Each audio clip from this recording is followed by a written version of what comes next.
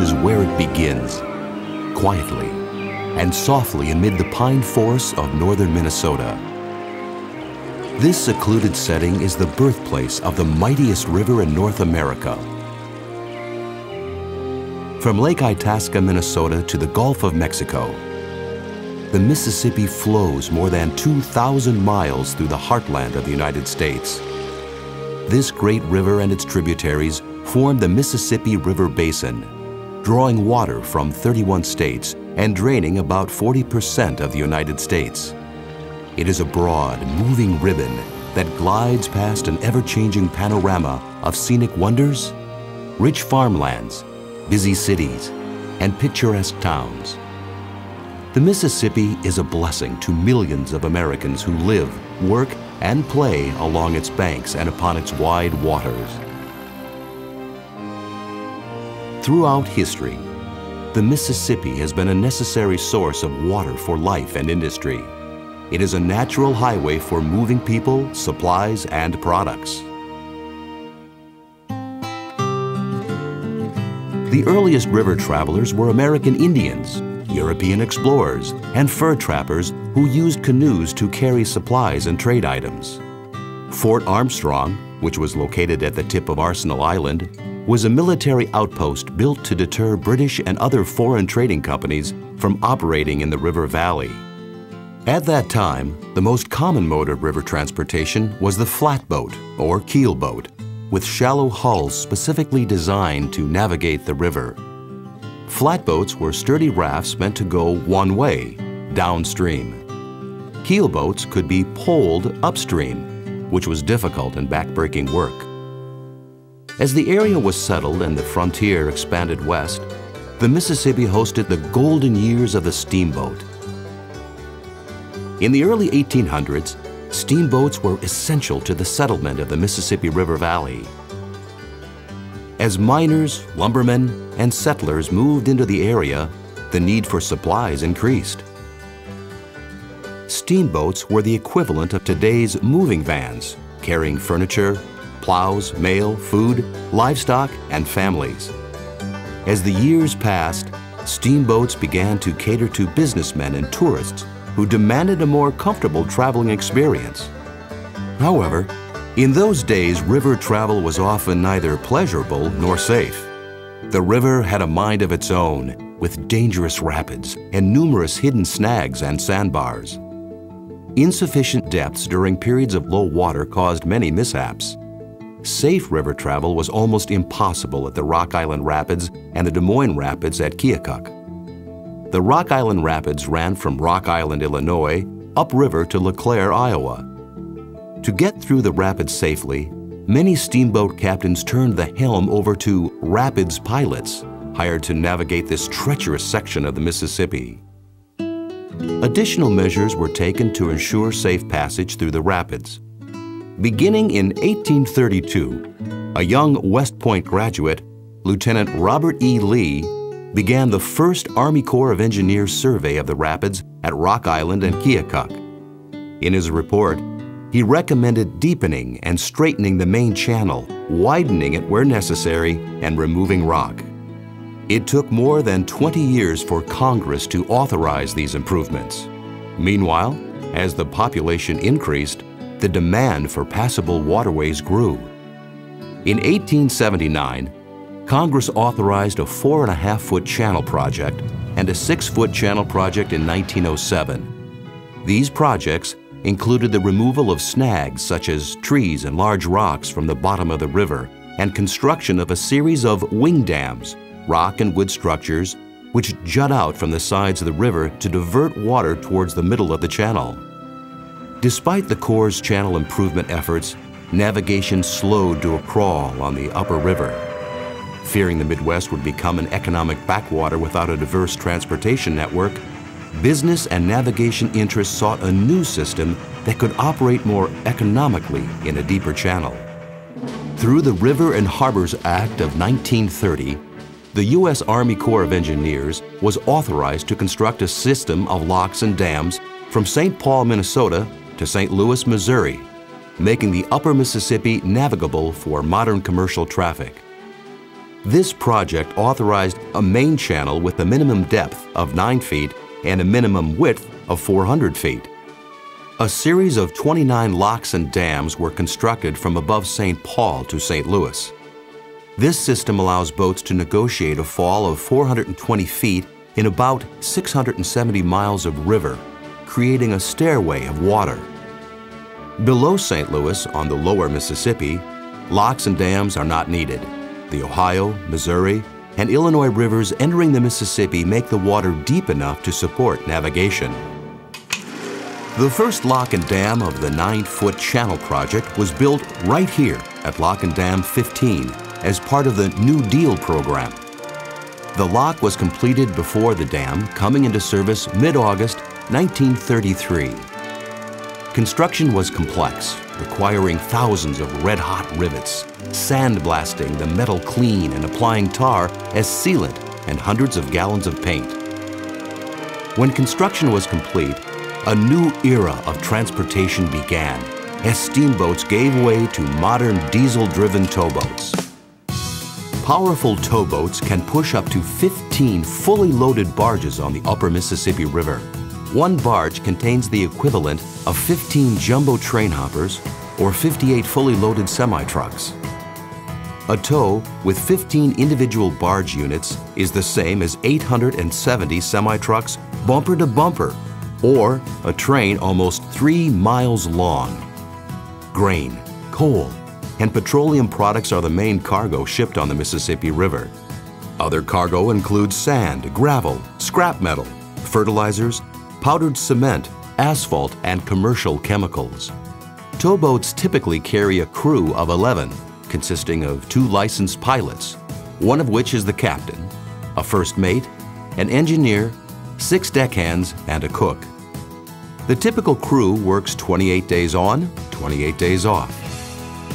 These tows need the lock and dam system to keep millions of tons of cargo moving up and down the Mississippi River. Barges draft 9 feet when fully loaded, so more than 9 feet of water is needed for river traffic to navigate the upper Mississippi. Because the natural river flow above St. Louis did not provide this depth, dams were needed to raise the water levels.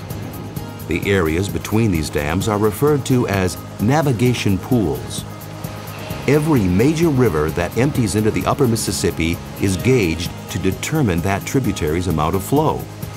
Corps personnel use this data to determine how much water to release through the dam's gates, or how much to hold back to maintain appropriate pool depths. Because boats cannot navigate through the dam, all river traffic must go around the dam using the locks. Think of the lock as a giant water elevator that boats must use to get around the dam. Most locks along the Mississippi River, like the one here at Rock Island, Illinois, are 600 feet long and 110 feet wide. However, a few locks south of here are 1,200 feet long. Operation of the lock is a relatively simple process. When a vessel enters the lock heading downstream, the gates are closed behind the vessel and the water level is the same as the upper pool. A system of valves are opened and water is let out of the lock via a 12-foot square tunnel until the water level in the lock matches the water level of the lower pool. The downstream gate is then opened and the journey can continue. When a vessel enters a lock heading upstream, the procedure is reversed. Pumps are not necessary in the locking operation because water seeks its own level. This is the procedure when the vessel is small enough to be locked through all at once. However, when a 15 barge tow measuring 1,200 feet long enters the lock, it is a little more complicated. Since this lock is only 600 feet in length, tows must be split in a process known as a double lockage. When a 15-barge tow enters the lock, deckhands manually uncouple all the cables holding the barges together at the 600-foot point, leaving nine barges in the lock. The towboat with the remaining six barges backs out of the lock. When going upstream, the nine barges are raised to the next pool level, then pulled out using a motorized winch. The winch starts them moving and momentum takes them the rest of the way. Tying a line to a traveling kevel on a rail keeps the barges from floating into the main channel. They are then tied to the lock wall above the gates.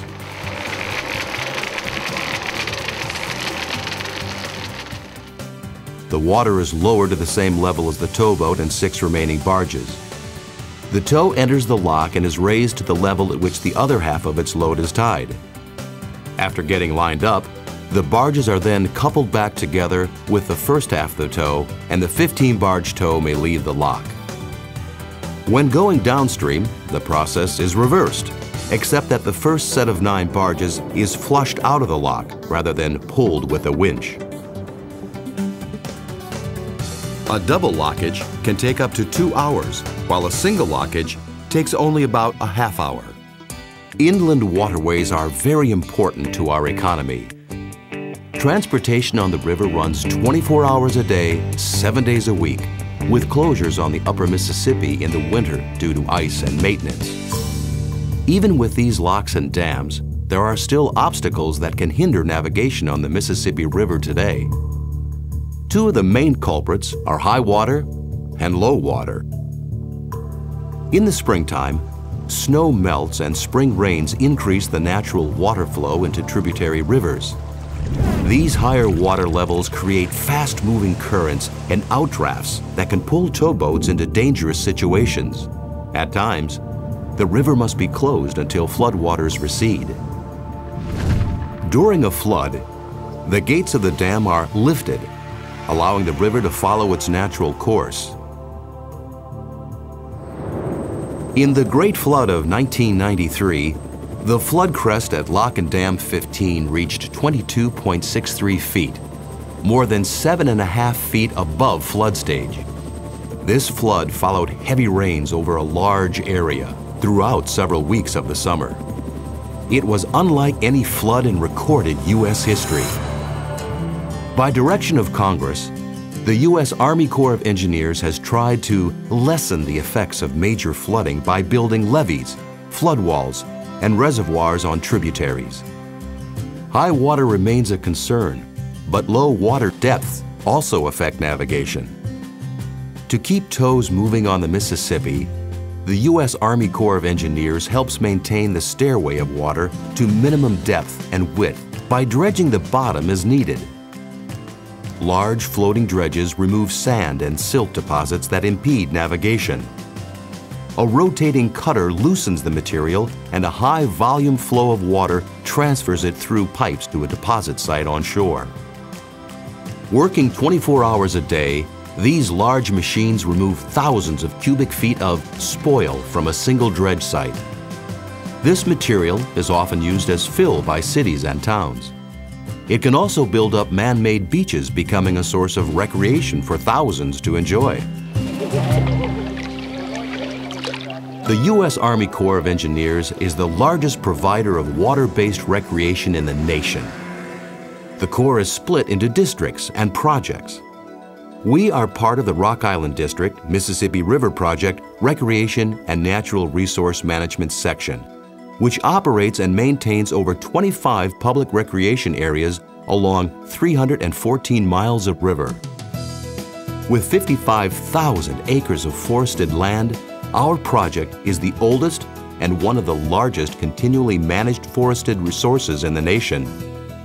We take pride in protecting our diverse natural resources while providing safe recreational opportunities for everyone to enjoy.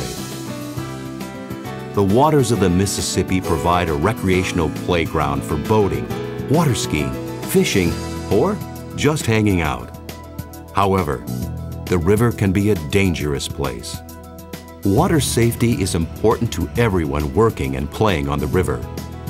For safe operation, boaters need to be aware of navigational dams, wing dams, and other possible obstructions. Many prefer to keep their feet on dry land. Millions of wildlife watchers, hikers, bikers, and campers from around the country and the world flock to the Mississippi for an outdoor experience. Bird watchers take advantage of the Mississippi River Flyway for migrating birds, which is listed as a globally important bird area. Wildlife watchers can spot beaver, muskrat, turtles, snakes, deer, butterflies, and dragonflies along the river. In winter, thousands of American bald eagles gather along the river to feed on fish. Many congregate near the locks and dams where the turbulent water does not freeze. The River Project helps provide recreational experiences through its campgrounds and day use facilities. Amenities offered at our campgrounds are electricity, water, playgrounds, showers, picnic shelters, and boat ramps. Not staying overnight? Day use areas are perfect for fishing, picnicking, hiking, launching a boat, or wildlife watching. Smith's Island, located just upstream of the Quad Cities, features a wildlife observation deck, benches, interpretive signs, and a designated National Recreation Trail. A Greek philosopher once proclaimed, you cannot step into the same river twice. From beginning to end, the muddy waters of the Mississippi have flowed since the last ice age, forging new paths, washing away the past, and building a new future. The river provides a place to live, to work, and to play. We depend on the waters of this massive natural resource just as wildlife and plants do, and its continued health depends on our commitment to its future.